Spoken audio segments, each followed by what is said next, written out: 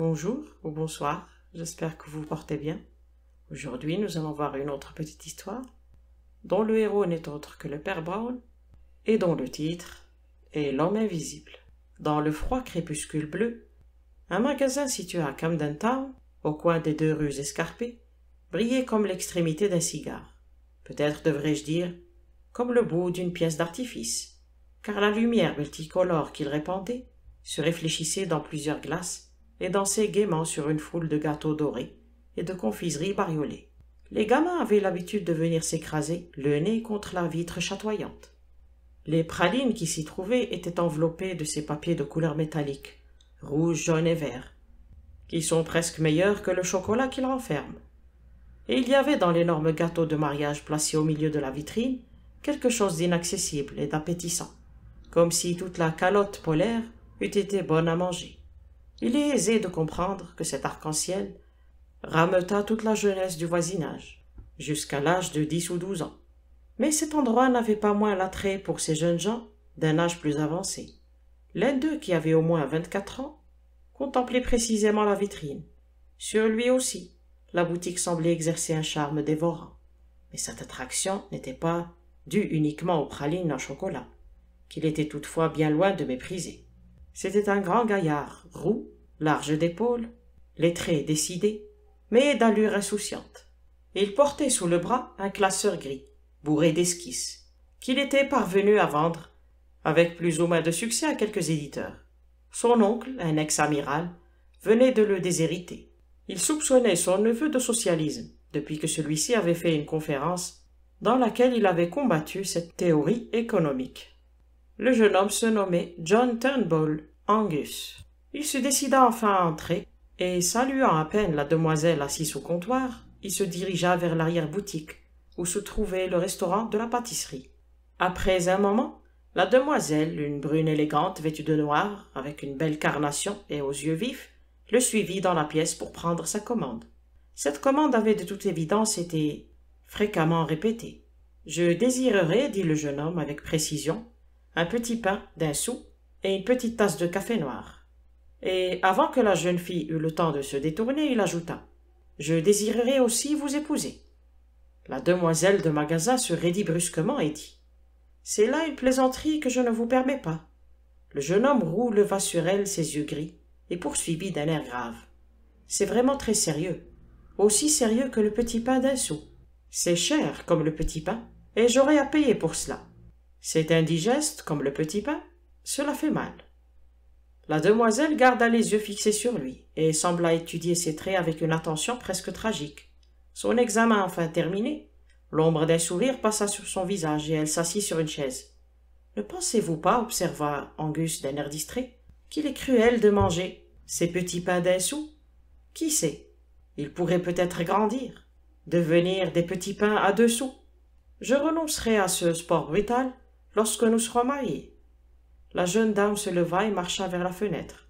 Elle était à l'évidence plongée dans ses réflexions, qui, pour être profondes, n'en étaient pas moins sympathiques. Lorsqu'enfin elle se retourna, de l'air de quelqu'un qui a pris son parti, elle ne fut pas peu surprise de voir le jeune homme déposer avec soin sur la table plusieurs objets qu'il venait de retirer de la vitrine, notamment une pyramide de dragées multicolores, plusieurs assiettes de sandwich et deux carafes remplies de ce mystérieux porto et de cet indéfinissable chéri que l'on ne retrouve que dans les pâtisseries. Au centre de la table, avec d'infinies précautions, il avait déjà placé l'énorme gâteau couvert de sucre blanc, qui avait été jusque-là le plus bel ornement de la vitrine. Que faites-vous donc? demanda-t-elle. Mon devoir, ma chère Laure, répondit-il. Oh, arrêtez-vous pour l'amour de Dieu, s'écria-t-elle, et ne parlez pas ainsi. Que signifie tout cela? Un festin de cérémonie, Miss Hope. Et ça demanda-t-elle impatiemment, en indiquant la montagne de sucre. Le sucre de noces, madame Angus. La jeune fille s'empara de l'objet du litige et le replaça dans la vitrine. Puis elle revint s'asseoir à la table, et après y avoir planté ses deux coudes élégants, dévisagea le jeune homme avec une expression qui, sans être précisément hostile, n'en trahissait pas moins quelque exaspération. Vous ne me laissez pas le temps de penser, dit-elle. Pas si bête, répondit-il. Je ne possède pas pour rien une humilité toute chrétienne. Elle ne le quittait pas des yeux. mais derrière son sourire, ses traits étaient devenus graves. Monsieur Angus, dit-elle avec fermeté, avant que vous continuiez vos folies, je dois vous dire le plus brièvement possible une chose qui me concerne. Avec joie, répondit gravement Angus.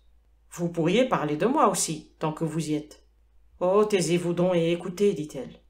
Ce n'est rien dont je sois honteuse, ce n'est même rien que j'ai lieu de regretter spécialement. Mais que diriez-vous s'il y avait dans ma vie quelque chose qui, sans me concerner directement, est devenu pour moi un cauchemar? Dans ce cas, dit Angus, imperturbable, je vous conseillerais de remettre le gâteau sur la table. Vous devez d'abord m'écouter, répondit Laure sans se laisser démonter. Pour commencer, il faut que je vous dise que mon père possédait à Ludbury l'auberge du Poisson Rouge et que je servais les clients dans le bar. Je me suis souvent demandé, dit-il, pourquoi il régnait dans cette confiserie une atmosphère chrétienne. Ludbury est un petit trou endormi et herbeux, perdu dans les comtés de l'Est, et les seuls clients qui fréquentaient le Poisson Rouge étaient, de temps à autre, des commis voyageurs, et pour le reste, les gens les plus horribles que vous puissiez voir, sauf que vous n'en avez jamais vu de tels. Des flâneurs qui ont juste de quoi vivre, et n'ont rien d'autre à faire que se vautrer dans les bars et parier aux courses. Ces misérables bons à rien n'étaient d'ailleurs pas nombreux chez nous, mais il y en avait deux qui étaient très souvent là, trop souvent. Ils vivaient de leurs revenus, étaient laborieusement paresseux et trop bien mis. Je ne pouvais pourtant m'empêcher d'avoir pitié d'eux car je soupçonnais qu'ils étaient venus échouer dans notre petit bar désert parce qu'ils étaient tous deux affligés d'une certaine difformité qui venait prêter à rire chez les mauvais plaisants. Ce n'était pas précisément une difformité, mais plutôt une étrange particularité. Le premier était extraordinairement petit, comme un nain, ou tout du moins comme un jockey. Il n'avait guère l'aspect sportif cependant. Il avait une tête ronde, une barbe noire bien soignée, et des yeux brillants comme ceux d'un oiseau. Il aimait à faire sonner l'argent dans ses poches et à manier la chaîne en or de sa montre. Il était un peu trop bien habillé comme un gentleman, pour en être un. Malgré la futilité de son mode d'existence, ce n'était pas un sot. Il se montrait habile dans une foule de choses qui n'avaient pas la moindre utilité. Il pouvait s'improviser prestidigitateur. Il savait faire allumer quinze allumettes comme un feu d'artifice. Il pouvait, en un tournement, transformer une banane ou un tout autre objet du même genre en une poupée dansante. Son nom était Isidore Smith, et je le vois encore avec sa petite figure sombre, s'avançant dans le comptoir, et me montrant un kangourou qu'il avait créé à l'aide de cinq cigares. Le deuxième était plus silencieux et plus banal, mais je ne sais pourquoi sa présence m'inquiétait bien plus que celle du pauvre petit Smith. Il était très grand et très mince. Il avait les cheveux blonds, un nez droit, et eût presque paru beau garçon malgré son allure fantomatique s'il n'avait été affligé du plus terrible strabisme que j'ai jamais vu. Lorsqu'il vous dévisageait, non seulement vous ne saviez pas ce qu'il regardait, et vous aviez des doutes concernant la situation que vous occupiez dans la pièce. Je suppose que cette difformité avait quelque peu aigri le caractère de ce malheureux. Car, alors que Smith était toujours prêt à montrer ses tours, James Wilkin, c'était le nom de l'autre, passait son temps à boire dans notre bar et à faire de longues promenades solitaires à travers la campagne grise et uniforme qui entoure la ville. Je pense d'ailleurs que Smith souffrait de même d'être si petit, mais il supportait son mal plus courageusement. Vous comprendrez que j'ai été à la fois intriguée, surprise et peinée lorsque tous deux sont venus me demander en mariage, durant la même semaine. J'ai commis alors ce que, depuis lors, je considère comme une maladresse. Mais après tout, ces malheureux étaient, dans un certain sens, mes amis et je ne voulais pas leur laisser soupçonner la véritable raison de mon refus, leur monstrueuse laideur. J'ai inventé un prétexte, disant que je ne voulais pas épouser un homme n'ayant pas fait son chemin dans le monde. Deux jours après que je leur ai donné cette bienveillante réponse, tous mes ennuis ont commencé. J'ai appris qu'ils étaient tous deux partis chercher fortune, comme dans un stupide conte de fées. Je ne les ai plus revus depuis, mais j'ai reçu deux lettres du petit Smith, et leur contenu était vraiment intéressant. L'autre homme n'a pas donné signe de vie demanda Angus. Non, il ne m'a pas écrit, répondit la jeune fille, après un instant d'hésitation. Dans sa première lettre, Smith me disait qu'il était parti à pied avec Wilkin pour Londres. Mais Wilkin était si bon marcheur que le petit homme avait dû renoncer à le suivre, et qu'il avait été contraint de se reposer au bord de la route. Il avait été accueilli par des forains ambulants, en partie grâce à sa petite taille, en partie grâce à son habileté. Il avait si bien réussi dans son nouveau métier qu'il avait bientôt été engagé par l'aquarium pour quelques tours que j'ai oubliés. La deuxième lettre est beaucoup plus surprenante. Je l'ai reçue pas plus tard que la semaine dernière. Angus vida en silence sa tasse de café et fixa la jeune fille d'un regard doux et patient. Elle ne put réprimer un léger sourire lorsqu'elle reprit. Je suppose que vous avez vu des affiches annonçant ce Smith Silence Service. Sinon, vous devez être la seule personne qui l'ignore. Je n'y connais pas grand-chose, c'est une nouvelle invention. Une sorte de mécanique qui permet de faire faire tout le service de la maison par des machines. Vous voyez ce que je veux dire. Poussez sur ce bouton, un domestique qui ne boit pas. Tournez ce pommeau, dix femmes de chambre qui ne flirtent pas. Vous devez avoir lu les réclames. Quelle que soit la valeur de ces machines, elles rapportent beaucoup d'argent. Et cet argent va droit dans la poche de ce petit homme que je connus jadis à Lotbury. Je ne peux pas m'empêcher de me réjouir pour le petit bonhomme. Mais j'ai une peur bleue qu'il vienne, un jour, m'annoncer qu'il a fait son chemin dans le monde, ce que je ne pourrais nier. Et l'autre homme répéta Angus avec un calme entêtement. Laura Hope se leva brusquement. Mon ami, dit-elle, je crois que vous êtes sorcier.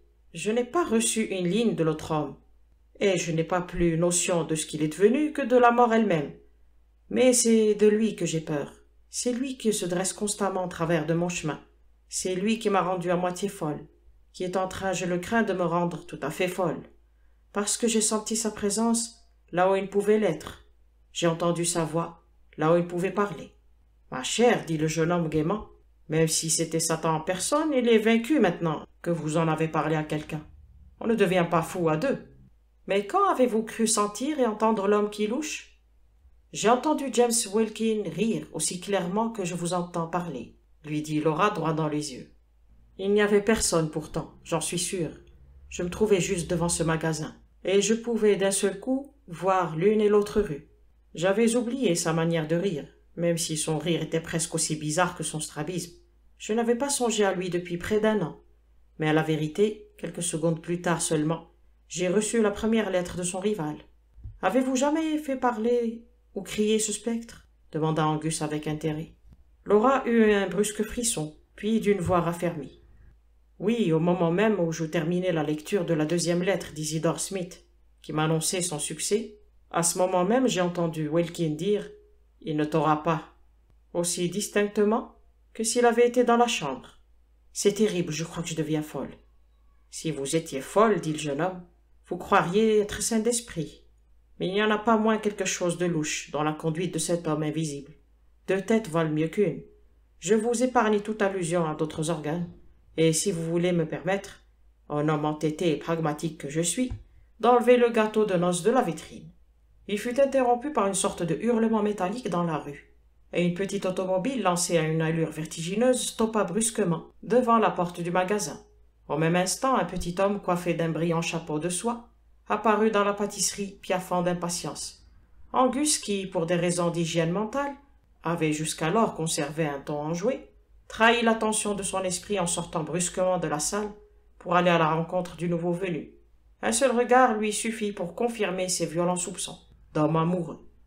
Cet être sémillant de taille minuscule, avec sa barbe qui pointait en avant avec insolence, ses yeux inquiets, ses mains soignées mais nerveuses, ne pouvait être que l'homme qu'on venait de lui décrire, Isidore Smith, qui faisait des poupées à l'aide de pelures de bananes et de boîtes d'allumettes. Isidore Smith, qui gagnait des millions à l'aide de sobres domestiques et de prudes servantes au corps de métal. Un instant, les deux hommes comprenant instinctivement la situation, se dévisagèrent avec cette étrange et froide générosité qui est l'âme même de toute rivalité. M. Smith ne fit pourtant aucune allusion à la cause profonde de leur antagonisme, mais dit comme s'il était sur le point d'exploser. Miss Hope a-t-elle vu quelque chose sur la vitre? Sur la vitre? répéta Angus. Je n'ai pas le temps d'expliquer davantage, dit vivement le petit millionnaire. Nous devons découvrir l'auteur de cette mauvaise plaisanterie.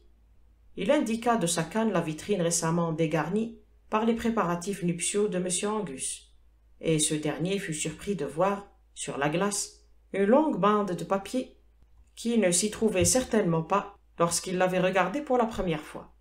Il suivit dans la rue l'énergique Smith et constata qu'un mètre environ de papier gommé avait été soigneusement collé sur la glace à l'extérieur. On y avait griffonné Si tu épouses Smith, il mourra. Laura, dit Angus, poussant sa grosse tête rousse dans le magasin, vous n'êtes pas folle. C'est l'écriture de ce Wilkin, dit Smith d'un ton bourru. Je ne l'ai pas vu depuis des années, mais il ne cesse de me causer des ennuis en ce moment. Cinq fois durant ces derniers quinze jours, il a fait déposer des lettres de menace à mon appartement, et je ne parviens pas à découvrir qui les apporte. À plus forte raison si c'est Wilkin lui-même. Le concierge de la maison prétend qu'il n'a vu passer aucune personne suspecte, et voilà que cet individu se permet d'afficher une sorte de frise sur un magasin public, tandis que les gens dans le magasin. Précisément, dit Angus avec retenue, tandis que les gens dans le magasin prennent le thé. Je puis vous assurer, monsieur, que j'apprécie le bon sens que vous mettez à vous occuper immédiatement de cette affaire. Nous pouvons remettre le reste à plus tard. L'homme ne peut pas être loin, car je suis certain que ce papier ne se trouvait pas la dernière fois que je suis venu à la vitrine il y a dix ou quinze minutes. D'un autre côté, il est trop loin pour que nous tentions de le poursuivre, puisque nous ne savons même pas la direction qu'il a prise. Si vous m'en croyez, monsieur Smith, vous mettrez cette affaire dans les mains de quelque énergique enquêteur, de préférence un détective privé. Je connais un gaillard très intelligent qui a son agence à cinq minutes d'ici, et si nous prenons votre auto, il s'appelle Flambeau et quoique sa jeunesse ait été quelque peu orageuse, il est aujourd'hui d'une scrupuleuse honnêteté et son cerveau vaut son pesant d'or. Son adresse est Lucknow, Mansions, Hampstead. Curieux, dit le petit homme en levant les sourcils noirs. J'habite moi-même les Himalaya Mansions, juste à côté. Peut-être voudrez-vous m'accompagner et je pourrai passer chez moi afin de réunir ces mystérieux messages de Wilkins, tandis que vous irez chercher votre ami le détective. Je vous remercie, dit Angus poliment. Plus tôt nous agirons, mieux cela vaudra. Dans un élan spontané de générosité, les deux hommes saluèrent donc cérémonieusement la dame et sautèrent dans la petite auto. Alors que Smith faisait mouvoir les leviers et tourner le coin de la rue, Angus aperçut, non sans quelque amusement, une gigantesque réclame du Smith Client Service, représentant une énorme poupée de fer sans tête qui portait une casserole avec la légende Une cuisinière qui ne se fâche jamais.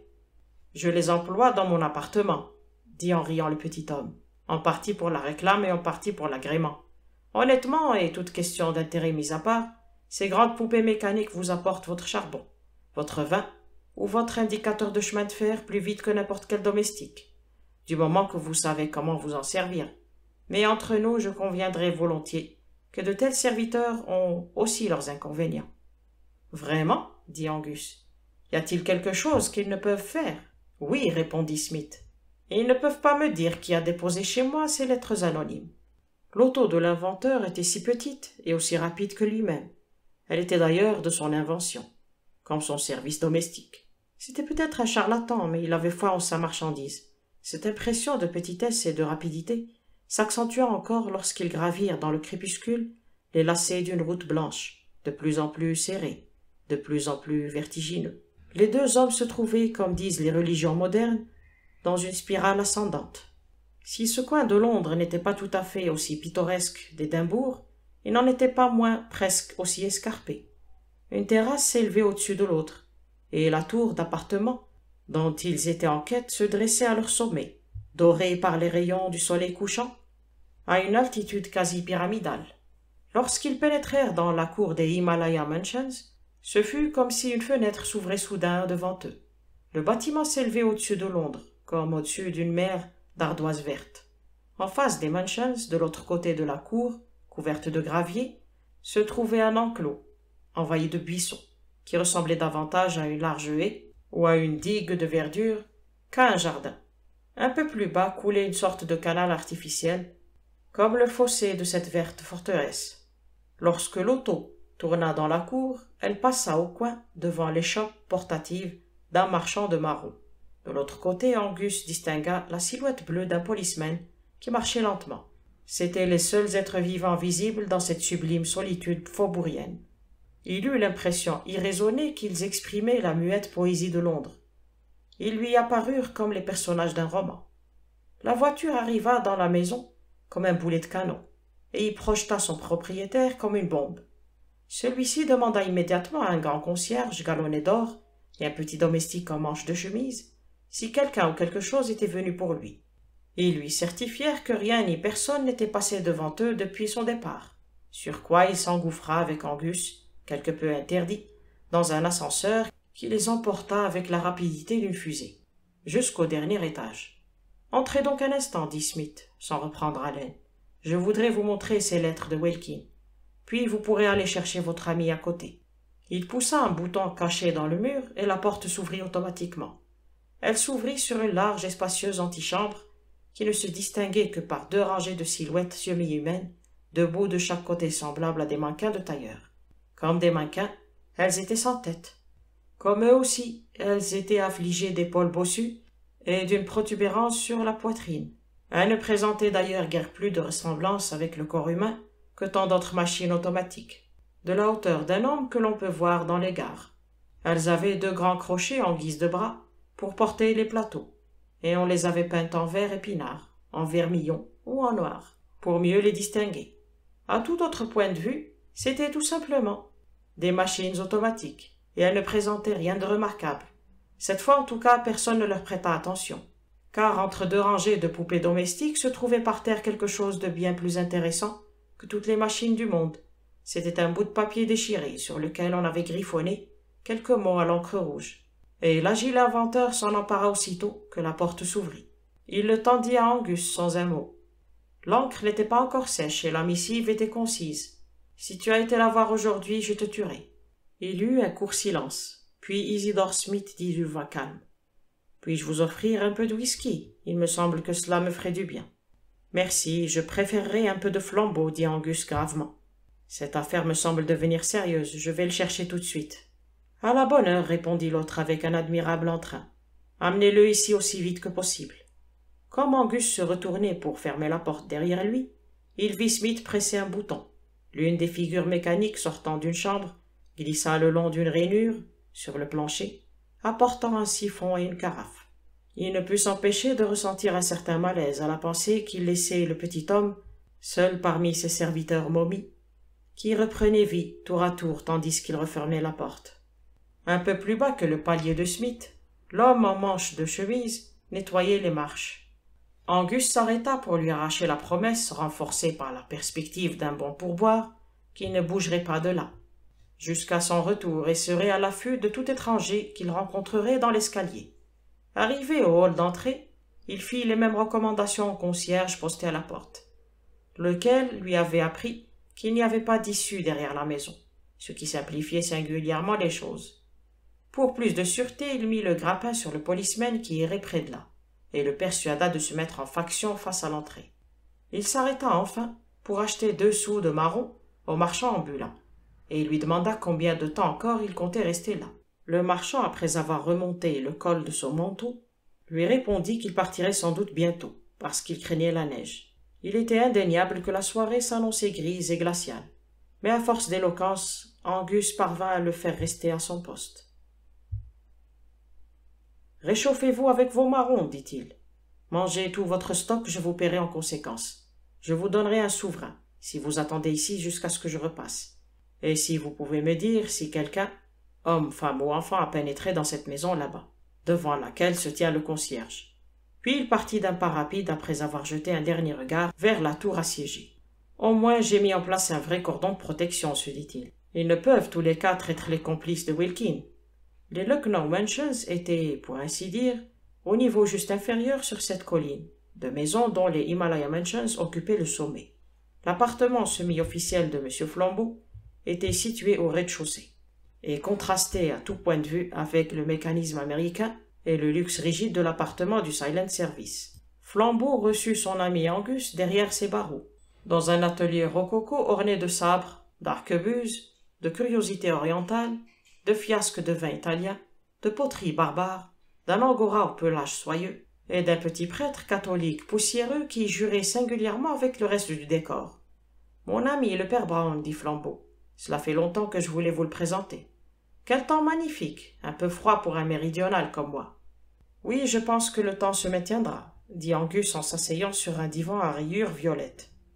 Non, dit le prêtre tranquillement. La neige commence à tomber.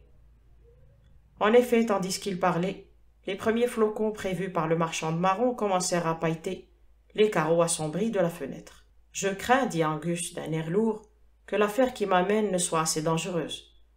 Le fait est, Flambeau, qu'à quelques pas de chez vous se trouve un homme qui a grand besoin de votre aide. Il est constamment hanté et menacé par un ennemi invisible, un misérable que personne n'a jamais vu. Au fur et à mesure qu'Angus racontait l'histoire de Smith et de Wilkin, en commençant par le récit de Laura et en poursuivant avec le sien, le rire surnaturel au coin des deux rues désertes, les paroles étranges et distinctes prononcées dans une chambre vide, Flambeau manifestait un intérêt croissant, tandis que le petit prêtre semblait ne prendre aucune part à la conversation, pareil à un simple élément de décor. Lorsqu'Angus s'en vint à parler de la bande de papier gommée collée sur la vitrine, Flambeau se leva, semblant obstruer la pièce de ses larges épaules. Si cela ne vous fait rien, dit-il, je crois que vous feriez mieux d'achever votre récit pendant que vous me conduirez à la maison de cet homme. Il me semble qu'il n'y a pas une minute à perdre. Avec joie, dit Angus, se levant aussi. Quoiqu'il soit hors de danger pour le moment, j'ai placé quatre hommes pour garder la seule issue de son repère. Ils sortirent dans la rue, le petit prêtre trottant derrière eux avec la docilité d'un chien, se contenta de remarquer gaiement comme pour alimenter la conversation. Comme la neige recouvre vite le sol, tandis qu'ils gravissaient les rues escarpées, déjà poudrées d'argent, Angus acheva son récit, et lorsqu'ils arrivèrent à la tour d'appartement, il put se consacrer à ses quatre sentinelles. Le marchand de marron, avant et après avoir reçu son souverain, jura sans jamais en démordre qu'il avait surveillé la porte et qu'il n'avait vu entrer aucun visiteur. Le policeman fut encore plus catégorique. Il déclara avoir l'expérience des malandrins de toute espèce, en chapeau de soie ou en haillons, et qu'il n'était pas assez naïf pour croire qu'une personne suspecte avait forcément l'air suspect. Il n'aurait laissé passer personne si quelqu'un s'était présenté, mais personne ne s'était présenté. Lorsque les trois hommes arrivèrent devant le concierge, galonné qui se tenait en souriant sous le porche, le verdict tomba sans appel. J'ai le droit de demander à n'importe qui, duc ou vidangeur, ce qu'il vient faire ici, dit le jovial géant, chamarré d'or. Et je jure que je n'ai eu personne à qui le demander depuis que monsieur est parti. C'est ce moment que choisit le père Brown, qui se tenait derrière, les yeux modestement baissés sur le pavement, pour observer d'un air timide. Personne n'a-t-il donc monté ou descendu les escaliers depuis que la neige a commencé à tomber? Elle a commencé à tomber lorsque nous étions chez Flambeau. Il n'est venu personne, je vous en réponds, dit le factionnaire, avec un sourire rassurant. Alors je me demande ce que signifie ceci, dit le prêtre en fixant le sol d'un œil rond, pareil à un poisson. Tous les autres suivirent son regard. Flambeau poussa une imprécation et esquissa un geste de fureur toute française. Bien en évidence, au milieu de l'entrée gardée par l'homme au galon d'or, juste entre les jambes écartées et arrogantes du colosse, courait le dessin humide d'une série d'empreintes de pas gris imprimées sur la neige blanche. Mon Dieu s'écria inconsciemment Angus. L'homme invisible. Sans ajouter un mot, il se précipita dans l'escalier, suivi de Flambeau. Mais le père Brown continua à contempler la rue couverte de neige, comme s'il avait perdu tout intérêt pour cette enquête. Flambeau était prêt à enfoncer la porte d'un coup d'épaule, mais l'Écossais, avec moins d'intuition mais plus de raison, en examina l'embrasure jusqu'à ce qu'il eût trouvé le bouton invisible et les battants s'ouvrirent lentement. L'intérieur n'avait guère changé. Le hall d'entrée s'était assombri, quoique le soleil couchant y allumât encore quelques flèches pourpres, et une ou deux machines sans tête avaient été déplacées. Plongées dans le crépuscule, elles avaient perdu de leur couleur, mais gagné en apparence humaine. Seulement au milieu, à l'endroit précis où se trouvait plutôt le papier griffonné à l'encre rouge, il avait quelque chose qui ressemblait beaucoup à une large tache d'encre rouge, sauf que ça n'en était pas. La raison et la fougue française de Flambeau se résumèrent en une exclamation. Au meurtre! Il se précipita dans l'appartement, et on explora tous les recoins et toutes les armoires en moins de cinq minutes. Mais il ne découvrit aucun cadavre. Mort ou vif, Isidore Smith restait introuvable. Après d'actives recherches, les deux hommes se retrouvèrent dans le hall d'entrée, le front en nage et les yeux égarés. Mon ami, dit Flambeau, parlant français dans son agitation, non seulement notre assassin est invisible, mais il est parvenu à rendre sa victime invisible aussi.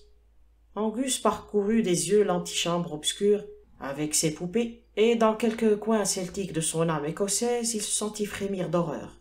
L'une des poupées de taille humaine se tenait juste au-dessus de la tache sanglante, appelée sans doute par la victime un instant avant le meurtre. L'un des crochets aux hautes épaules qui servaient de bras à l'automate était légèrement levé.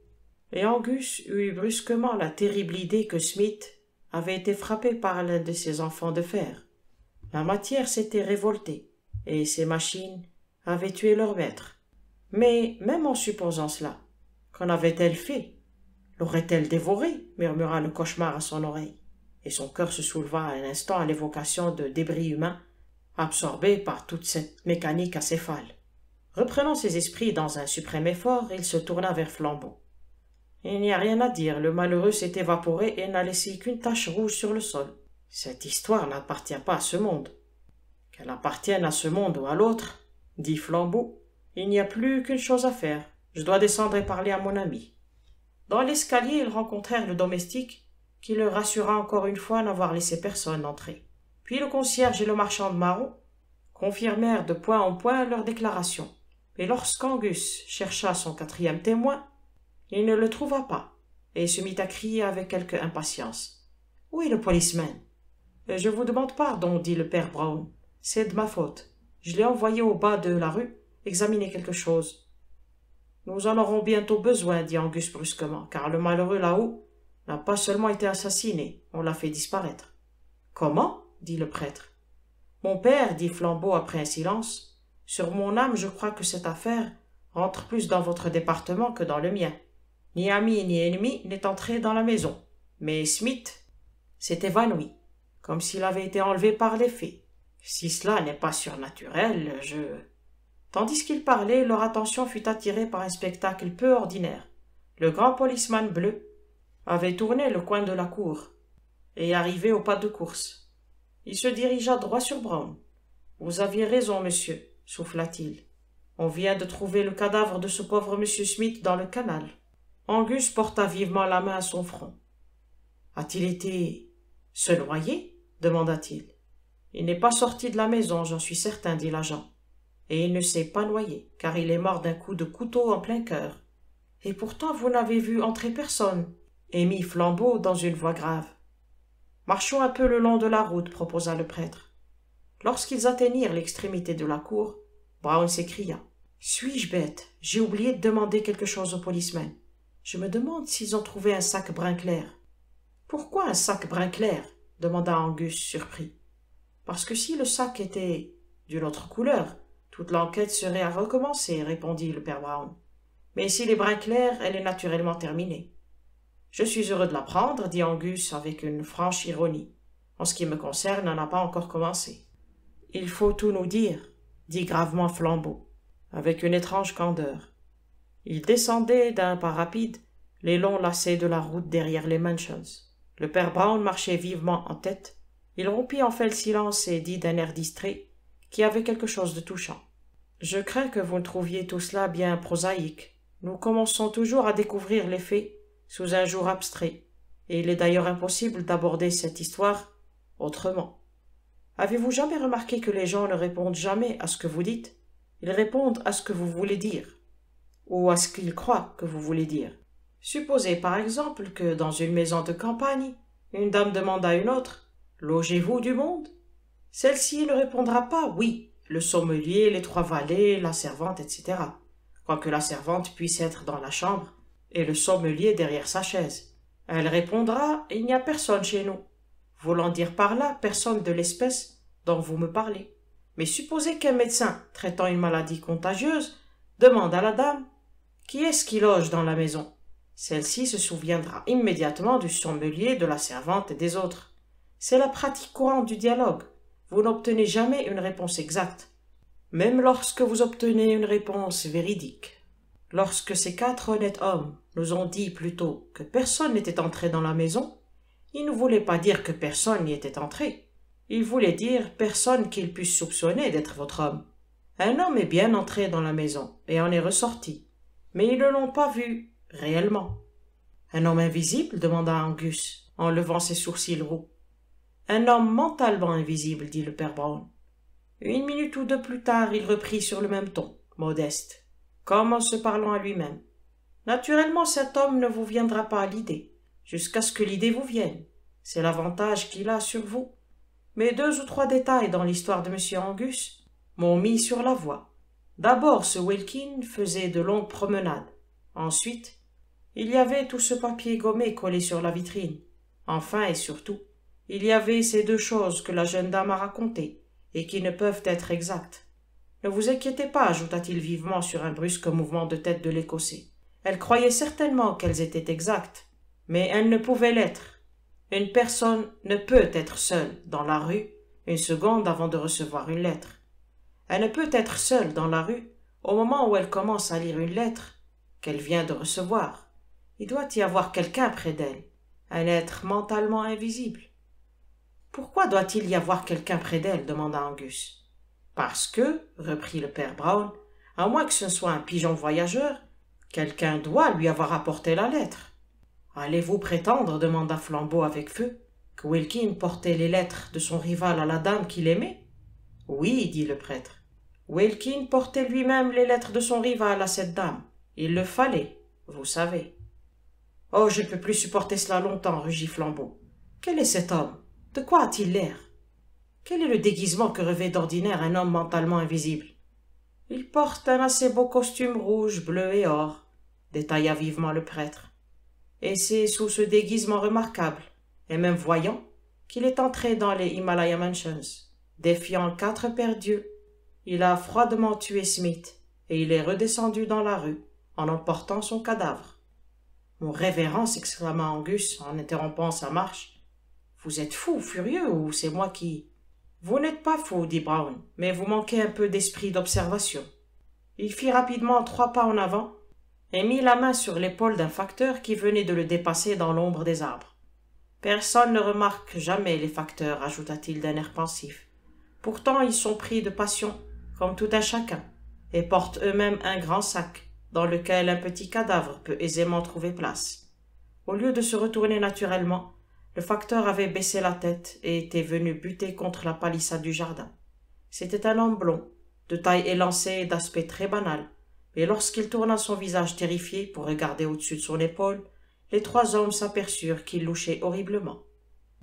Flambeau, qui avait une foule d'affaires à régler, retourna à ses arbres et à ses tapis violets et à son angora. John Turnbull Angus retourna à la dame de la pâtisserie, avec laquelle ce jeune imprudent réussit à mener une existence des plus agréables.